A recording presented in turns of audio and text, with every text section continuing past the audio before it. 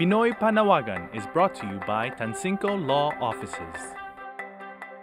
And to talk about the Trump administration's increased efforts to round up undocumented immigrants is Pinoy Panawagan Counsel Attorney Lou Tancinco, who now joins us here in our studio. Thank you for joining us here, Attorney Lou. My pleasure to be here, Joe. Well, the 7-Eleven raids already took place and there's this announced um, arrest of more than 1,500 undocumented immigrants in Yeah. the San Francisco Bay Area as well.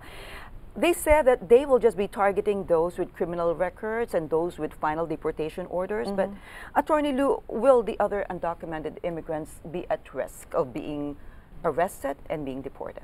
Yes, that's what I want to clarify, Jill.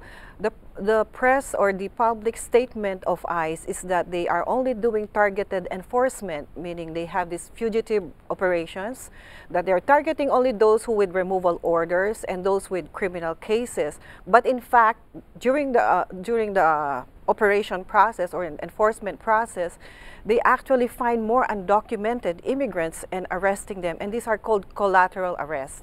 These are people who happen to be there at the wrong place and at the wrong time. So, in that sense, and in answer to your question, yes, uh, there are also those who are just in unlawful status and are being arrested. And a lot of kababayans probably have heard about these situations in 7-Eleven raids, for example.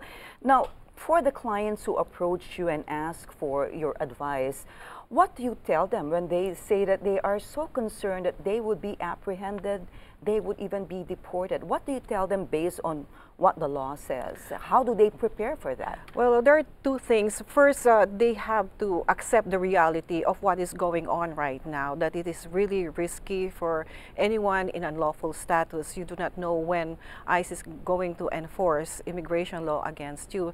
So I tell them to first make an informed decision that if you stay here, you're willing to take on the risk. And second, if you decide to stay here, you have to have a preparedness plan. And what that preparedness plan means is that you have to put in one file uh, all your immigration history documents.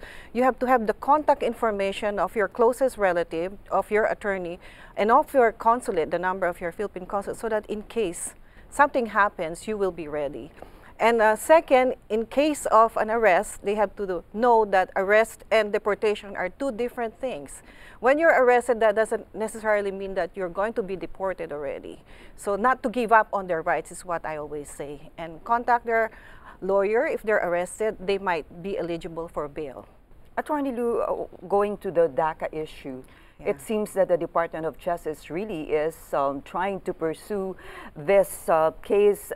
The federal, the federal judge said, okay, DACA stays for now, and no, those who would have to um, reapply and renew their DACA privileges would be able to do so.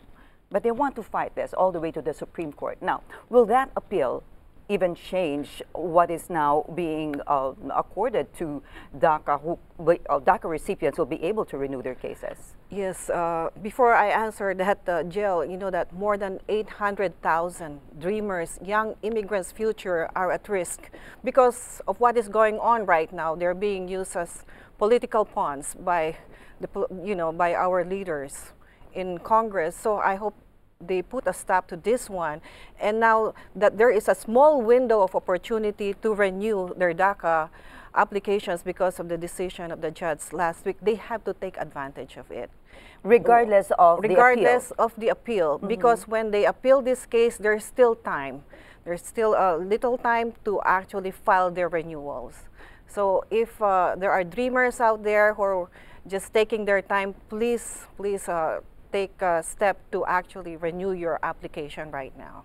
All right, thank you very much for sharing with us your perspective and your advice, Attorney Lou Tancinco. My pleasure. Thank you. And if you need advice for any legal problems, send your questions to Pinoy Panawagan at tancinco.com or call the hotline at 1 800 999 9096.